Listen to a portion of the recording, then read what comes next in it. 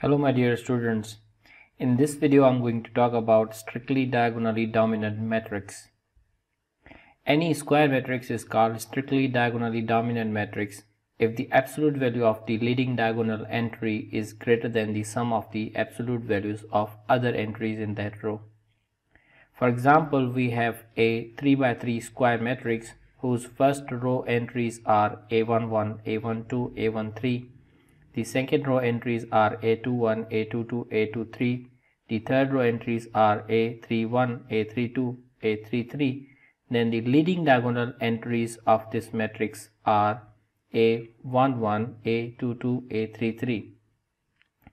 Now this matrix is called strictly diagonally dominant matrix if the absolute value of the leading diagonal entry of the first row is greater than the sum of the absolute values of other two entries which are a12 a13 it means that the absolute value of a11 should be greater than the sum of the absolute value of a12 and a13 similarly the absolute and uh, absolute value of the leading diagonal entry of the entry of the second row which is a22 should be greater than the sum of the absolute values of the other two entries which are a21 and a23 similarly the absolute value of a33 which is the which is the leading diagonal entry of the third row should be greater than the sum of the absolute values of other two entries which are a31 and a32 so if if any square matrix satisfies this condition we call that square matrix as strictly diagonally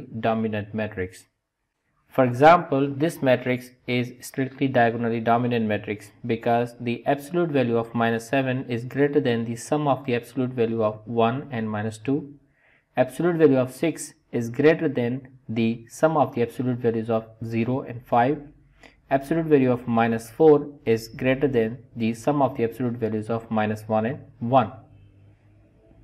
Hence, this matrix satisfies the condition of the strictly diagonally dominant matrix whereas this matrix is not strictly diagonally dominant matrix because the absolute value of minus 7 is not greater than the sum of the absolute value of 1 and minus 9 though it satisfies the condition for second and third row but it does not satisfy for the first row hence this matrix is called not strictly diagonally dominant matrix.